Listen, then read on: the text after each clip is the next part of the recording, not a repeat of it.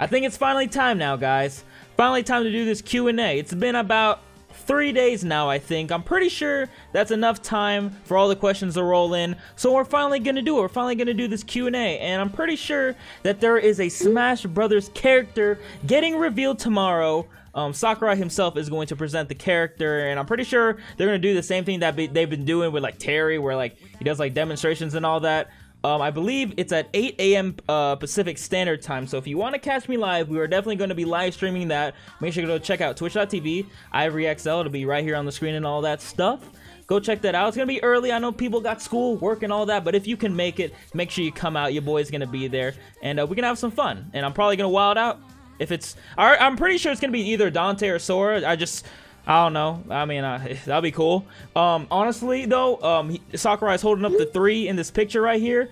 Um, Fire Emblem Three Houses. I would also be fine with that. So, I mean, it, it, we'll find out tomorrow, I guess. But for right now, let's just get to these motherfucking questions. Got the questions pulled up here on the good old iPhone. I really don't care what kind of phone people have. I don't know why it's an argument at this point. But anyways, let's just get to the questions. First question coming from the legend. And he says, what is your favorite hentai? And you know what? We starting off strong. I like that. But sadly, Legend, uh, I don't think this is a question that could be answered by any normal human being, any mortal on Earth, because the question is just so powerful, man. What is your favorite cultured hentai, bro? There's just so much to choose from. I just I don't think I could I can narrow it down to one single one out from all the rest. But I you know I do have a couple favorites. I do have a couple that I think stands amongst the rest. One of them being Masterpiece.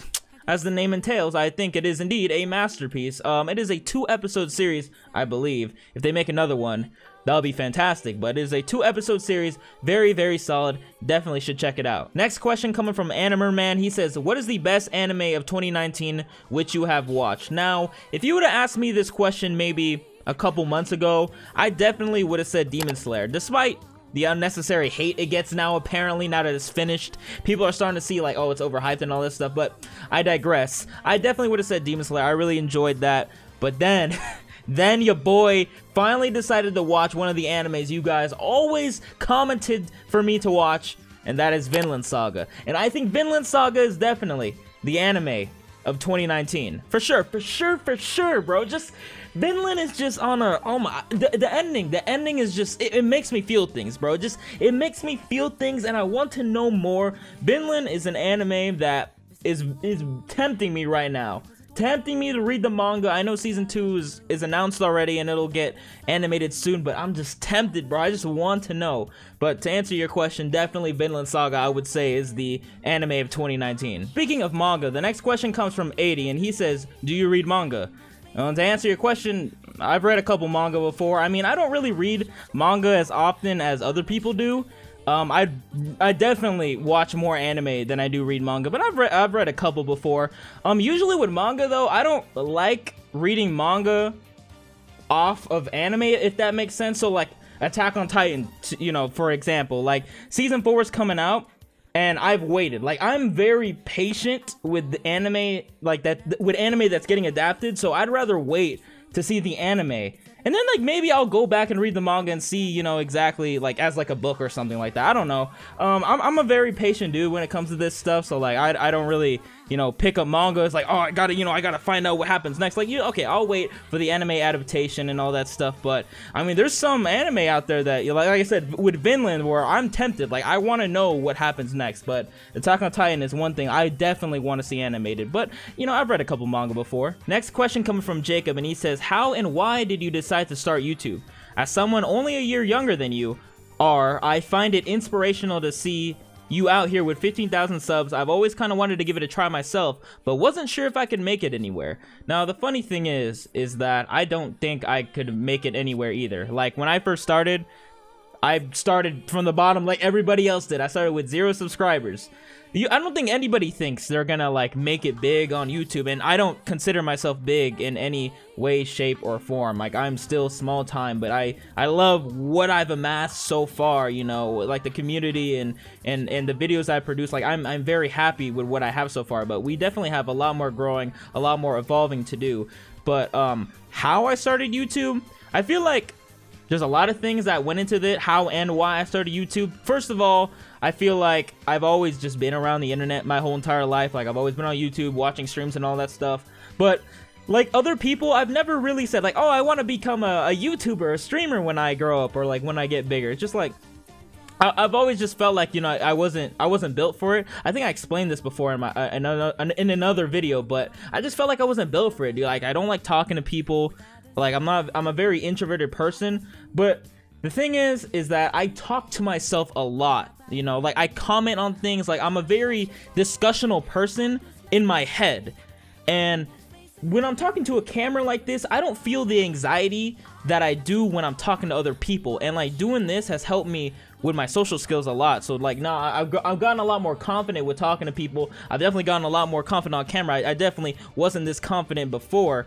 But um, also, I feel like um, Etika, you know, big YouTube uh, streamer, you know, God rest his soul, he's up in a better place right now he's definitely, definitely one of the big inspirations for not only my my I guess channel, but like also just me starting YouTube because you know, like I said before, he's very raw. He's very emotional and personal with his YouTube video. Like you can see it, like like you can see it through the camera. Like he is not like he's really, you know, he's real. You know, like he's real, and like I really appreciate that that uh, genuine, like him being very genuine, and I that's what I pride myself on is being a very genuine YouTuber, trying to be as as um what's the word called? Uh, transparent, very transparent with all of you guys with what I do. Like that's what I always want to do. I never want to really hide anything from you. I just want everything to always be out there, and we always want to be real with each other. I just feel like that is such a, a good quality because when we're really with each other on the internet,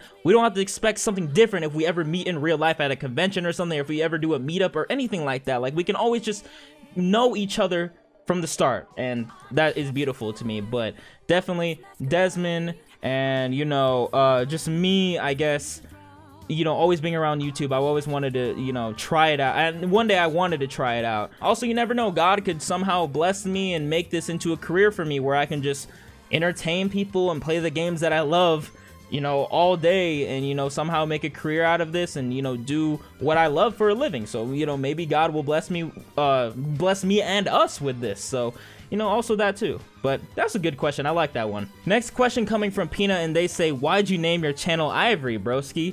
Now, I think I've answered this before and I feel like you guys are going to be very disappointed.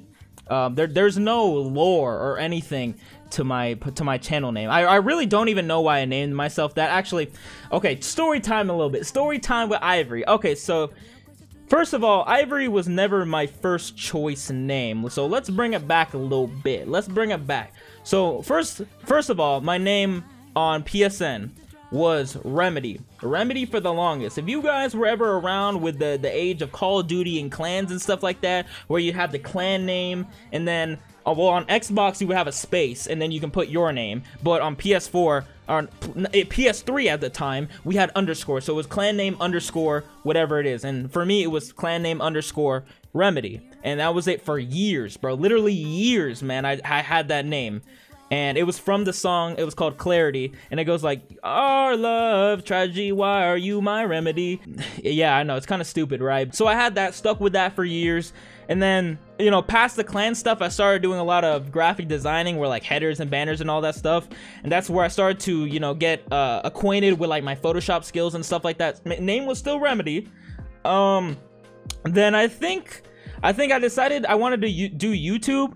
And I'm just like, man, dude, Remedy is just like, I've had that name for so long. I kind of wanted to change. But like, you know, at the time, I'm not the most creative person.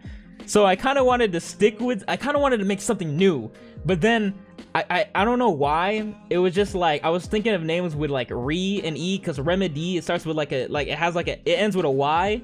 So I'm just like, I think I heard like a Weeknd song or something like that, or I was playing D Devil May Cry with Ebony and Ivory, something along those lines. I really don't know which one it was. I just decided like, you know what?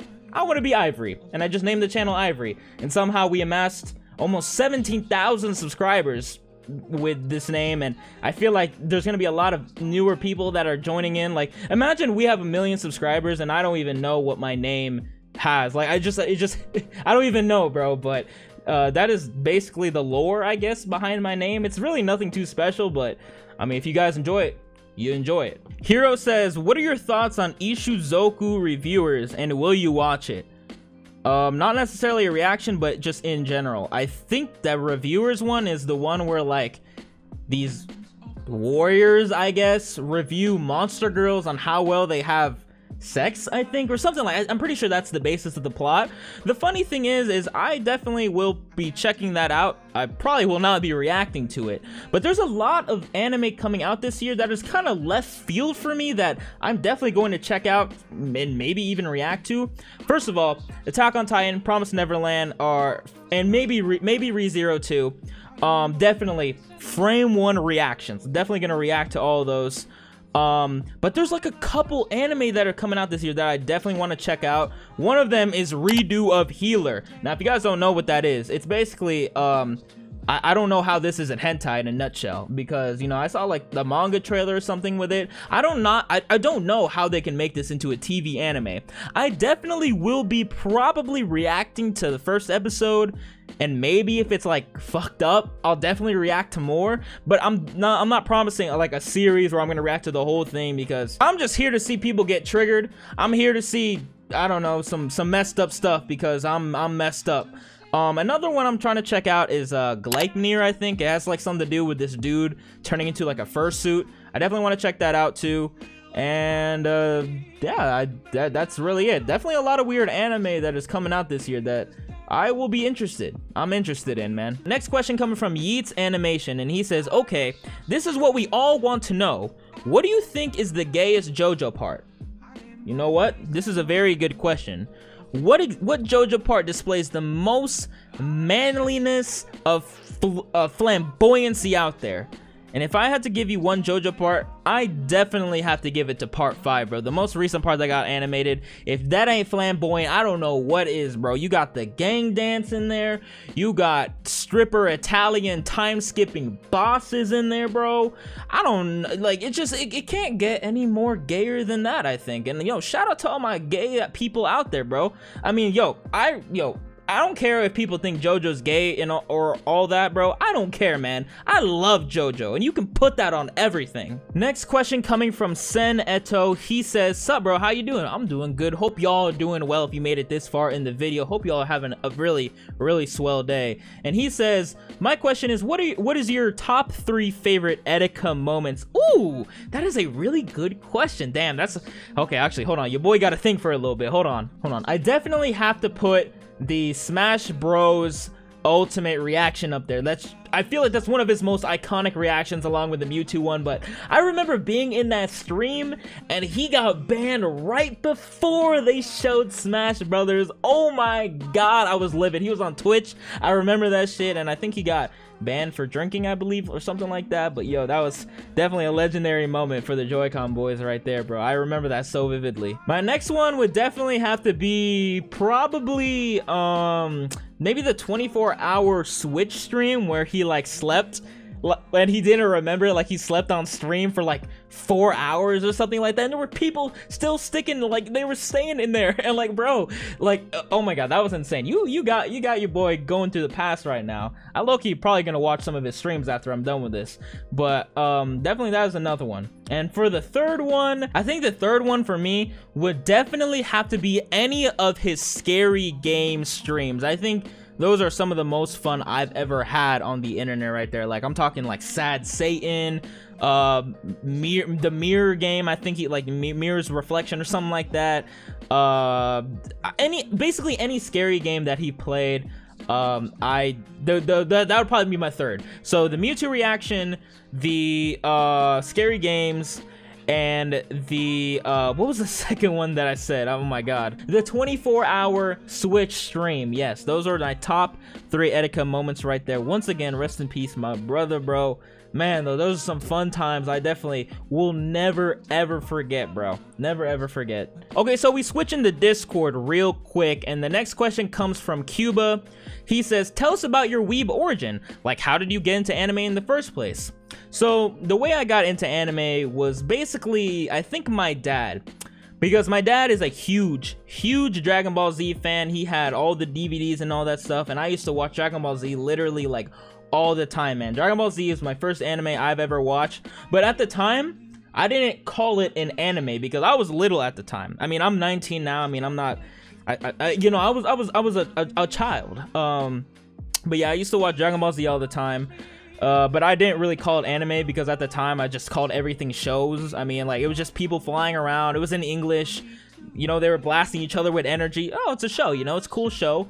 Um, but you know, as you know, I grew up, you know, on the internet stuff like that. Obviously, you know, you're adventurous. You know, you search stuff up. You start to be more you know, open-minded with stuff like that. And I just started to search up like, oh, Dragon Ball Z is called an anime. Okay, so anime, and then I looked up anime and see exactly what it consisted of.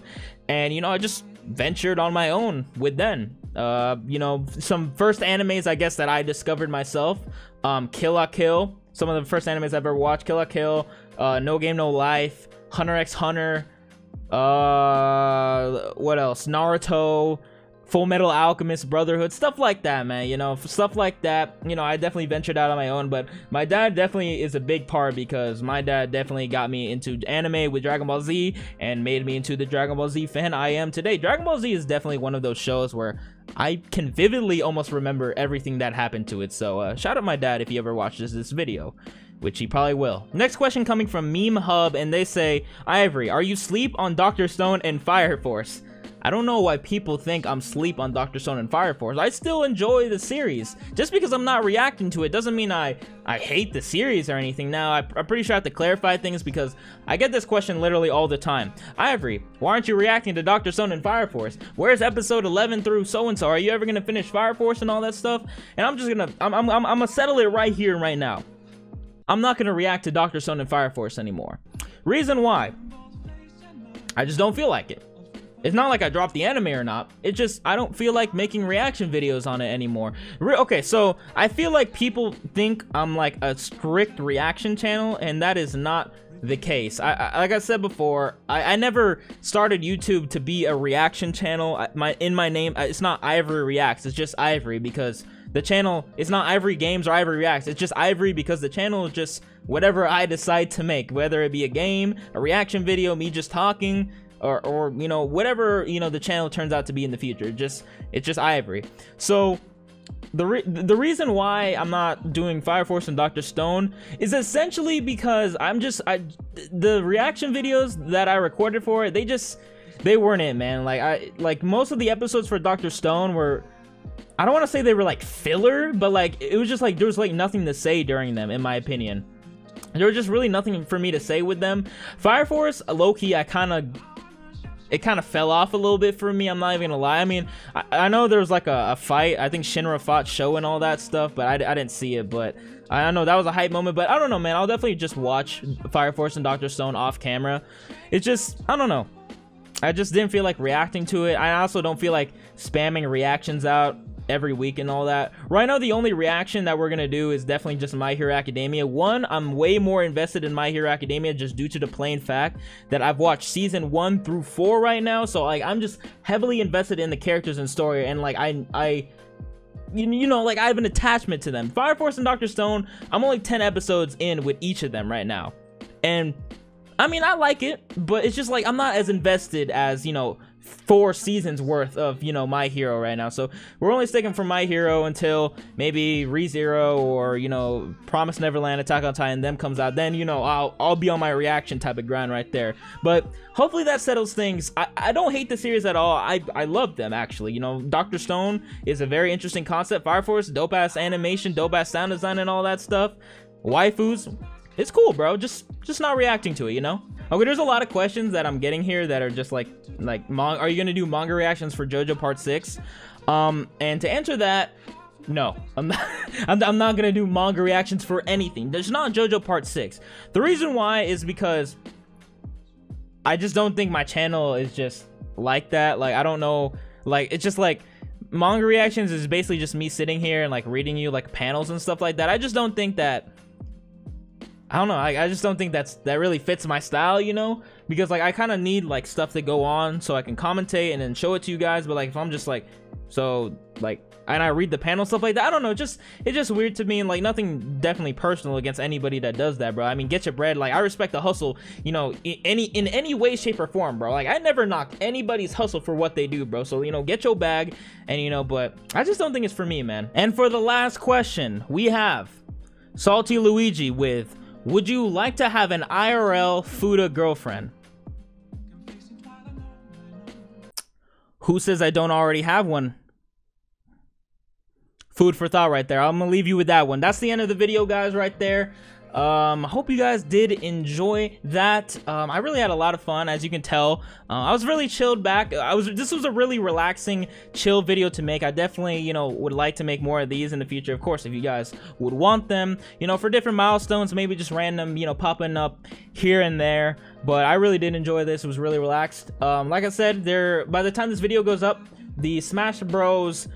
Uh, reveal for the new character should be up the next day, and we should be streaming that um around uh, it, it, airs it's it it airs I guess 8 p.m. 8 a.m. my time. Sorry, Nintendo is always really early with their stuff. So I know people got school and work, like I said before. But you know, if you can make it, you know, you can sneak in class or something like that. You know, I don't want to get you in trouble or anything. But if you think you can do it, if you're feeling a little saucy, definitely come join you, boy. We're gonna have a lot of fun with there. I'm definitely gonna upload the reaction to YouTube over here anyway. But like when it's over, so you guys get to see the highlight. But if you want to see the full stream, you know, maybe my I guess thoughts before the chat's thoughts, you know, definitely go check that out. Um, Dragon Ball Z Kakarot's almost here. Definitely gonna make videos on that. Uh, it, it comes out on the 17th, I believe. So, uh, definitely want to do a series on the channel with that. Uh, it'll be my first, I guess, official game series on the channel. I mean, Mugen is definitely an official series. Like, we're gonna continue that, but definitely Dragon Ball Z Kakarot is gonna be my first step, I guess, stepping out of my comfort zone with how I how I do things. So I'm excited for that. Also, I'm just excited to play Dragon Ball Z game because I fucking love Dragon Ball. But once again, guys, thank you guys so much for everything. It's crazy how we're almost at 17,000 subscribers. I think we were just at when I was in that, like when I was in that video talking about the Q and A, wasn't I at 15.8, bro? We're almost at 17 right now. That's it's crazy, bro. Like at the rate we're going right now, I think that 100k goal is gonna get crushed in no time. Hopefully, man. Hopefully, God, you know, continues blessing us, the channel, and everything. You know, man. I'm I'm grateful for all you guys. I'm grateful for everything. Uh, for everything you guys have have given me, like your your time, your attention, your your support, your love, and all that, man. It's it definitely means a lot, bro. And I'm gonna keep grinding. I'm gonna keep pushing, and I'm just gonna keep, you know, trying to be a better creator for for me and you, bro. Um, but anyways, guys, I think that's enough. Uh, I think that's enough uh, talking. Uh, hope you all have a great day. Take care of yourself, and uh, yeah, it's been Ivory, guys. Peace.